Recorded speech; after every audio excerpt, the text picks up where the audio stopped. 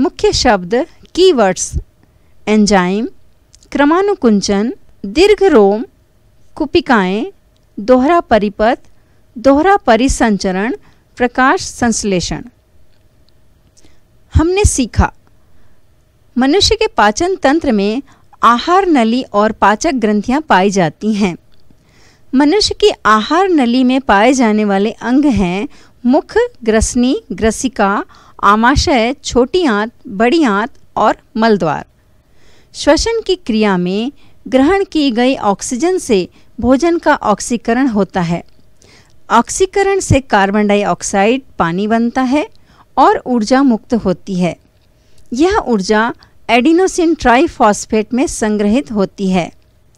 Adenosine triphosphate को ऊर्जा मुद्रा कहा जाता है। मनुष्य के उत्सर्जन तंत्र में एक जोड़ी वृक्क, किडनी, एक जोड़ी मूत्र नलिकाएँ यूरेटर मूत्राशय यूरिनरी ब्लैडर एवं मूत्र मार्ग यूरेथ्रा होते हैं। मनुष्य के परिवहन तंत्र में मुख्य रूप से हृदय एवं रक्त वाहिनियाँ, धमनी और शिरा पाए जाते हैं। धमनियाँ मुख्य रूप से ऑक्सीजन जनित रक्त एवं शिराएँ मुख्य रूप से ऑक्सीजन विहीन रक्त का परिवहन करती हैं। पौधे प्रकाश संश्लेषण द्वारा सौर ऊर्जा को खाद्य पदार्थों के रूप में रासायनिक ऊर्जा में संग्रहित करते हैं। ये जीव जगत के लिए प्रथम पोषक स्तर हैं। पौधे में होने वाली प्रकाश संश्लेषण हरित लवकों में होती है।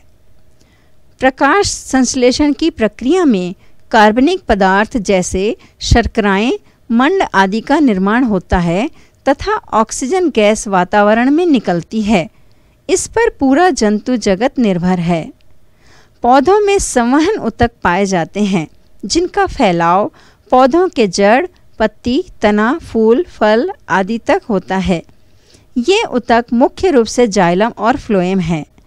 कुछ अपशिष्ट पदार्थ पौधों से गिरने वाली पत्तियों से निकल जाते हैं।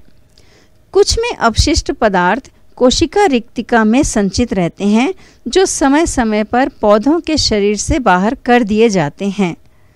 पौधों में गैसीय आदान प्रदान मुख्यतः रंध्रों के माध्यम से होता है।